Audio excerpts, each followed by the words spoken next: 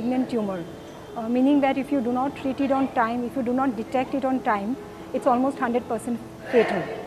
And uh, the important thing is that it happens in children and most of the time, by the time it's kind of you know detected, it's already at an advanced stage.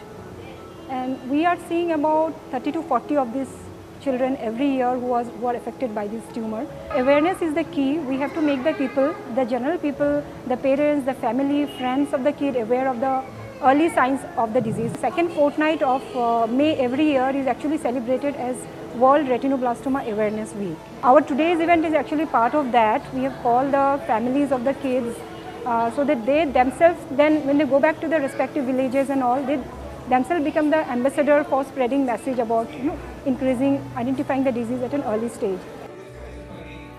इसकी आंख में cancer था एक आंख इसकी निकाल ली और दूसरी आँख इसकी बिल्कुल सही है अब तो सही चल रही है वो और उसको एक आँख से खूब दिखता है When they see the kids who have already completed the treatment and then they see that they are actually doing well, they are going to the school, they are living almost like a normal kid, they get lot of moral support.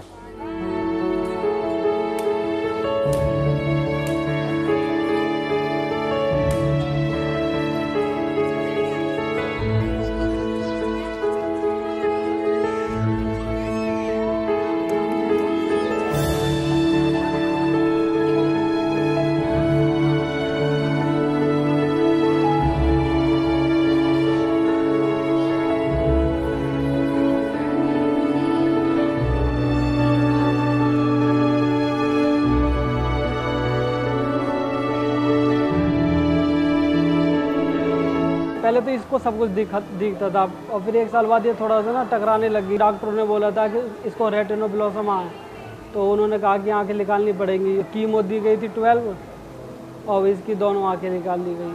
Almost about eighty percent of our kids actually belong to very poor social economic group so that's the reason we have actually taken help of Genesis and Genesis has been helping us with this cause in helping with the treatment of this children without their support problem it would have not been possible to actually treat so many kids.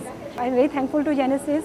I think probably without their support, we would not been able to treat uh, all these kids. हर एक individual बच्चे को अलग से देखते हैं अलग से बात करते हैं जो भी उनकी प्रॉब्लम है उसको देखते हुए हम